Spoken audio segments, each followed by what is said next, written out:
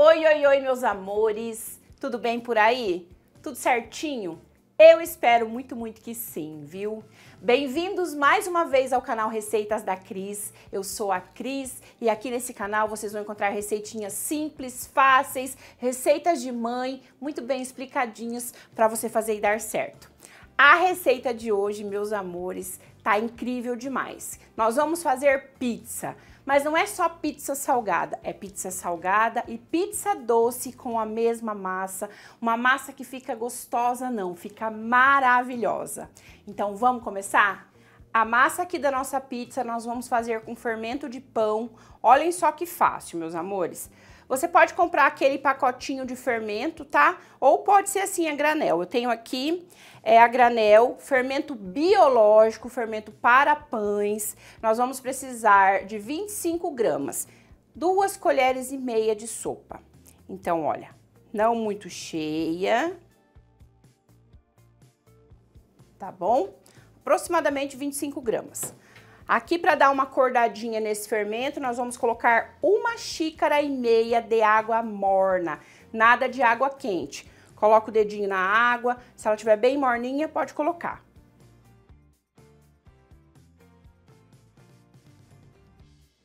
Dá uma misturadinha até derreter esse fermento. Meia colher rasa de sal, assim, olha. 8 colheres de sopa de óleo. É óleo de soja que eu tô usando aqui, tá? Dá uma misturadinha.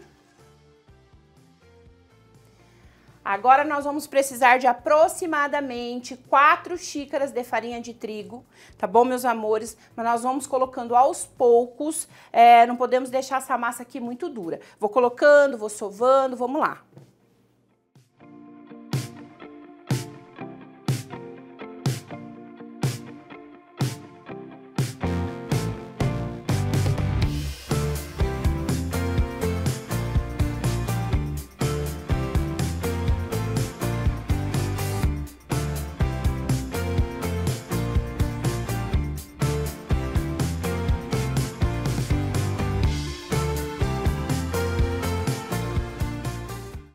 Mexi aqui até conseguir, mas agora é hora de mão na massa. Lembrando que a minha farinha de trigo é sem fermento. Essa farinha tem que ser sem fermento, tá? Vamos lá.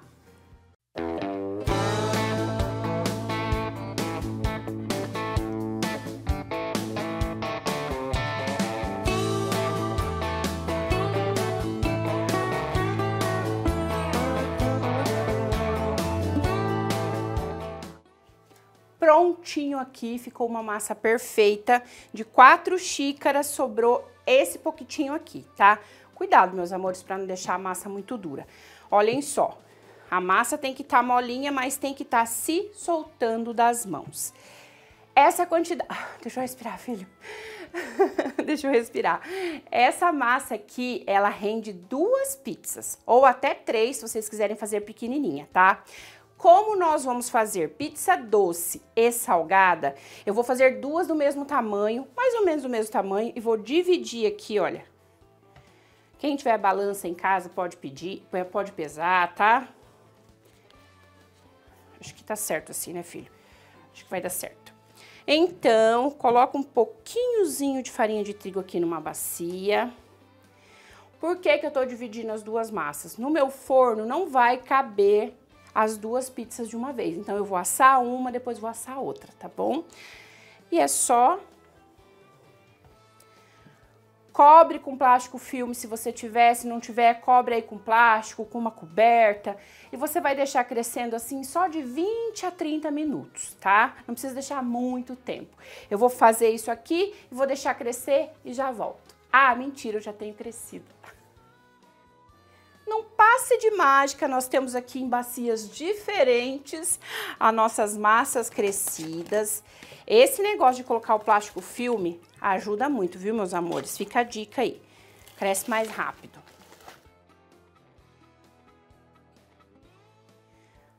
Dobraram de tamanho. Uma nós vamos assar primeiro e aqui nós não vamos assar primeiro, nós vamos deixar crescer mais um pouquinho. Aliás, assim, olha. Sova de novo.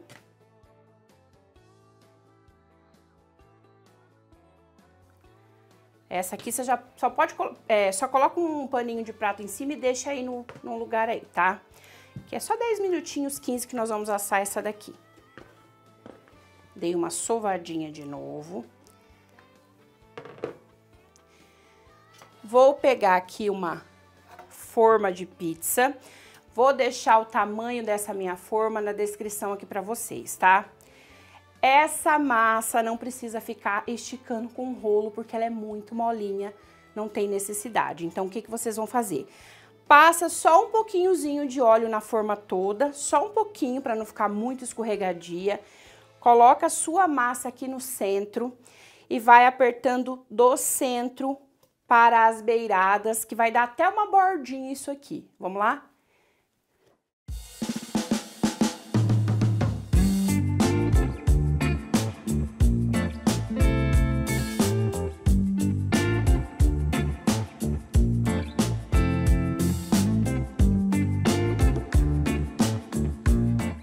Estiquei bem a massa. Quem não quiser deixar bordinha, não precisa, tá?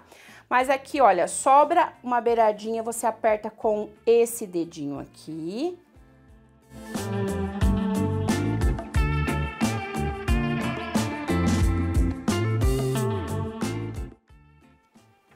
Agora, nós vamos abaixar a bordinha, para ficar bonita.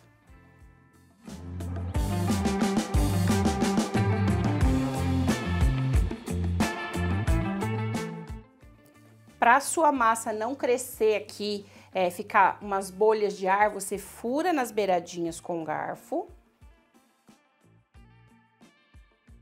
Antes de você começar aqui preparar a massa na forma, você deixa o seu fogo ligado por uns 15 minutos em 200 graus, 230 graus, tá bom? O meu tá bem quentinho, vou levar para assar essa, já volto pra gente colocar a outra.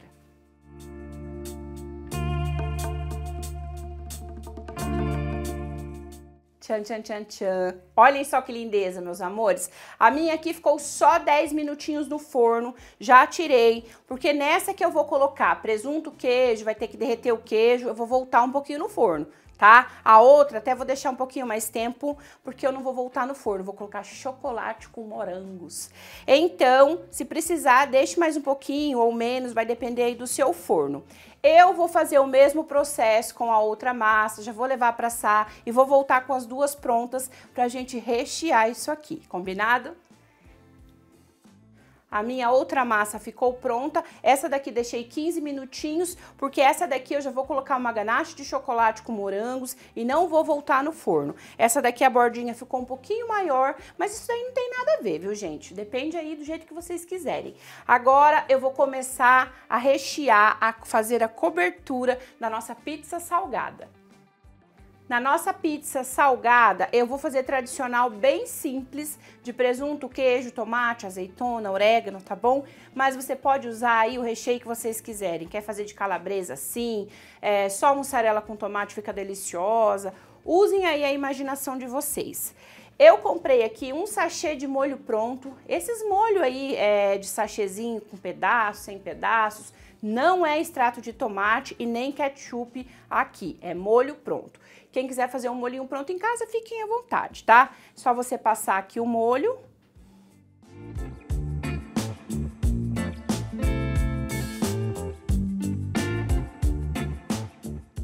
O molho eu usei só meio sachê, não quero deixar muito molhado de molho. Vamos colocar aqui presunto.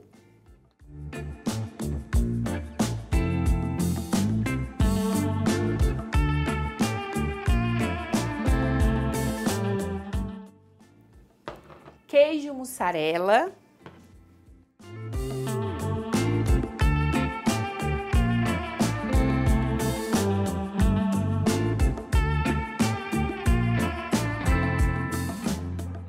De presunto eu usei aproximadamente 200 gramas e de mussarela usei aproximadamente 300 gramas, é, mas fica a gosto de vocês, tá? Coloquem a quantidade que vocês quiserem. Eu acho que super combina tomate, eu vou colocar aqui umas rodelas de tomate.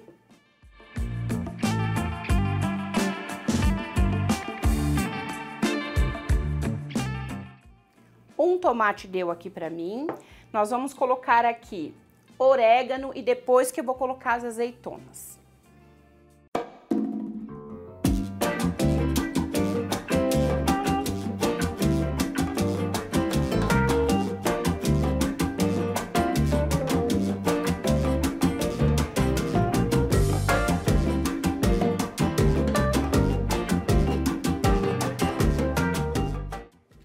Coisa linda, hein, gente? Então agora é só levar para derreter o queijo, é bem rapidinho.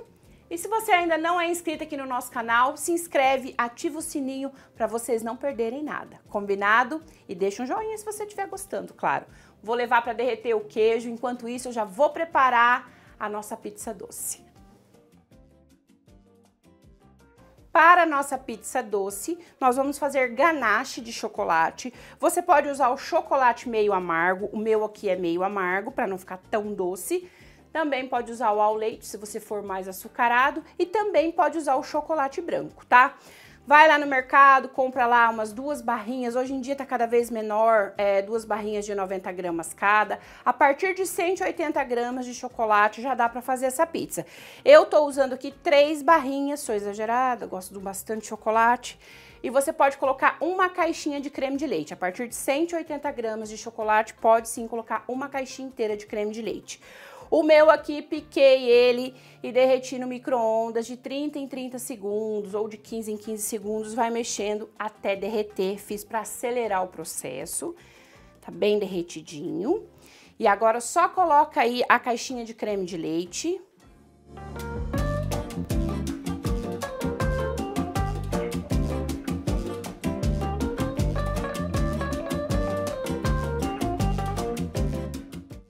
Olhem só que ganache linda, gente. Olha que perfeição, tá? Agora, nós vamos pegar aqui a nossa pizza. Essa daqui não volta para o forno, a não ser que você queira aquecer ela, tá? Um pouquinho. Aqui, meus amores, eu vou colocar a ganache toda.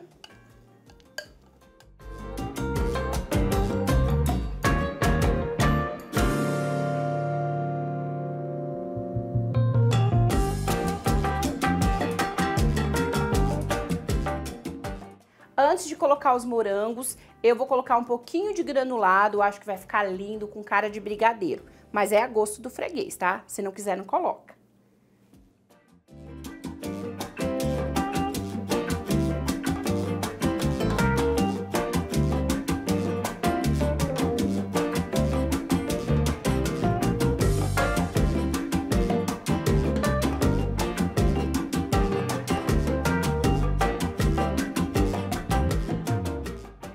Meus amores, se você não quiser colocar mais nada, não precisa.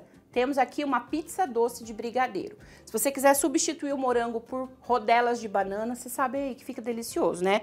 Eu piquei aqui, olha, morango em lâminas, comprei uma caixinha, lavei, sequei, escolhi os mais bonitos e cortei aqui, olha, em lâminas, lâminas finas e vamos colocar.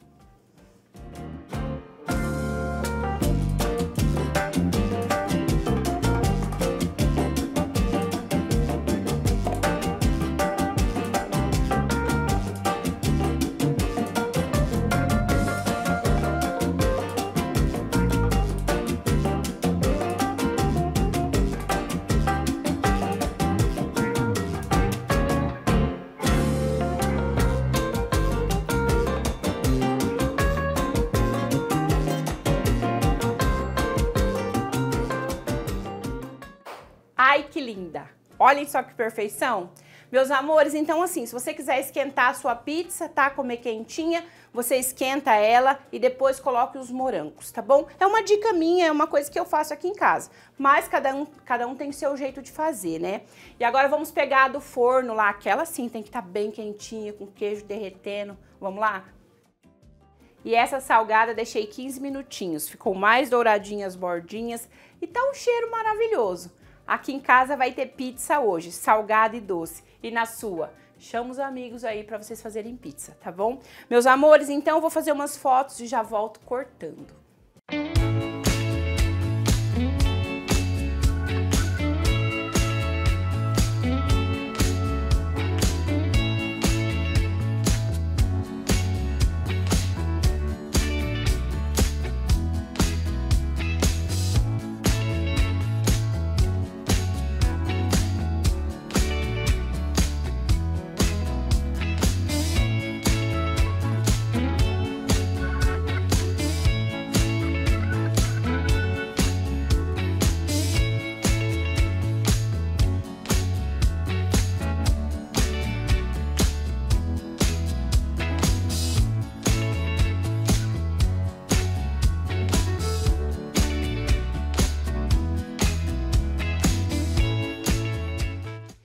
Filho, mostra aqui esses pedaços, que coisa mais linda do mundo.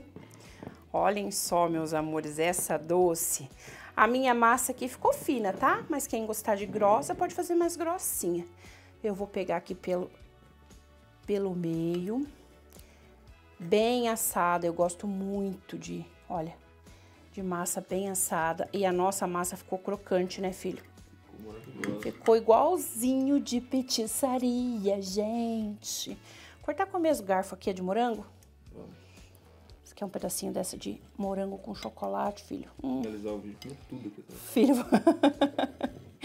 filho, eu vou comer tudo isso aqui, tá? Não tem jeito. Meus amores, qual que é a preferida aí? Doce ou salgada? Vamos experimentar? Minha boca tá cheia d'água.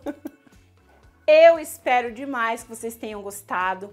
Quem não quiser fazer pizza doce, faz aí duas salgadas. Quem não quiser fazer essa quantidade, né, que dá duas pizzas, pode fazer metade da receita, faz uma pizza só, tá?